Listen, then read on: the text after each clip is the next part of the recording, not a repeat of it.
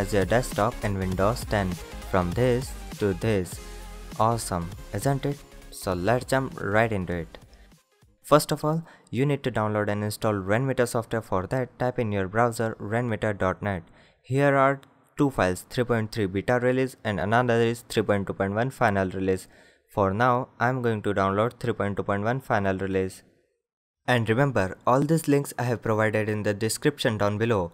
And also, I have compressed all these things to one file and uploaded it, by which you can easily get all these files at once. It is of 43.69 MB.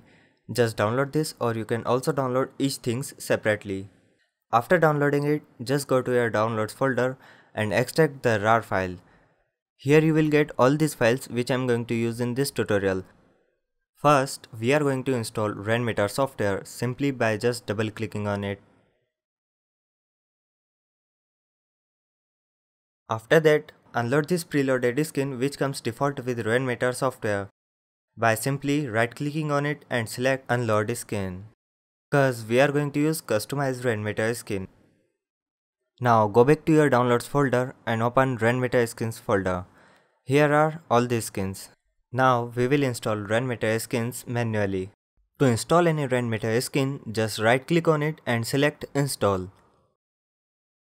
Now to open Rainmeter, click on show hidden icons button in your taskbar.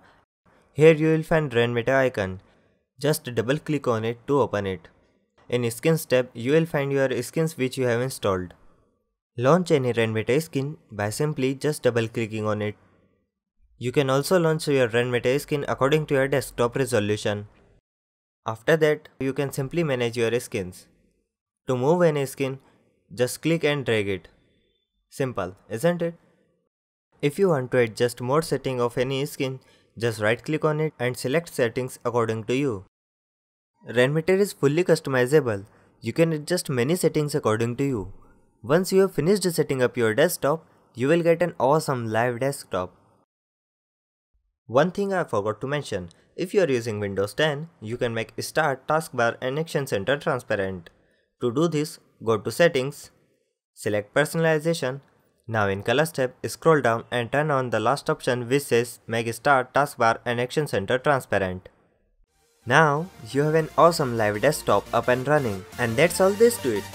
Thanks for watching guys, I really hope you enjoyed the tutorial if you have any comments, questions or suggestions, just leave them in the section down below. Please remember to subscribe cause I will upload many awesome tutorials on this channel. Hit that like button and share the video around, it really helps me a lot.